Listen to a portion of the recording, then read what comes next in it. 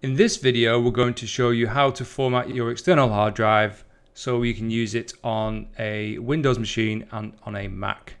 Now, it's very important that you back up any files that are on this external hard drive as they will be wiped because we are doing a format.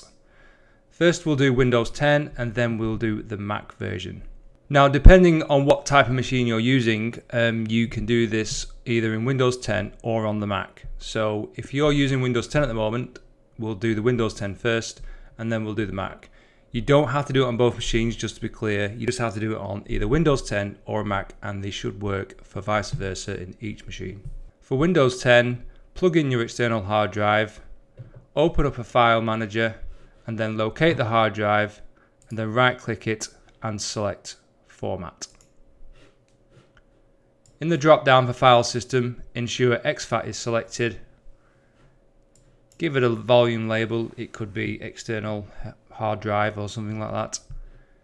Quick format is fine selected and then click start. Click OK. Once completed, it will now be an exFAT file system which you can use on both your Windows machine and on your Mac. On your Mac, open up your Launchpad and in the search box at the top type disk. Disk utility will appear, so click that.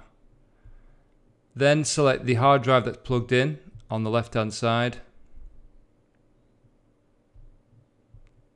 And then click the erase button at the top.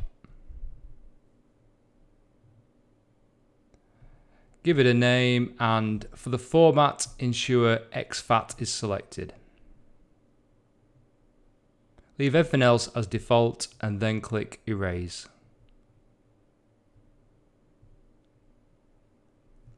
Dismiss what comes up and now you will have a compatible disk for both Windows and Mac. Thanks for watching, please like and subscribe and I shall see you in the next video.